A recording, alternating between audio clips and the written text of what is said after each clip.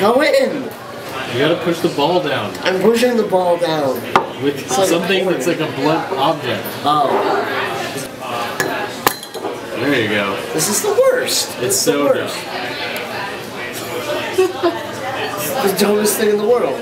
Take a sip. Oh, tastes like Japan. Which is not good. It's not melon. I don't know what it is. Yeah, go ahead.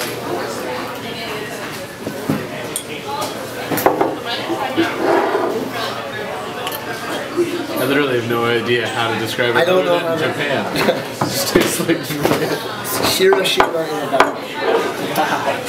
Well, not the bottom. Can you wear this? Well, I- It's still a city. it's true. It's silly. The fact that you think the bomb as soon as you say Hiroshima, that's that's the really racist thing.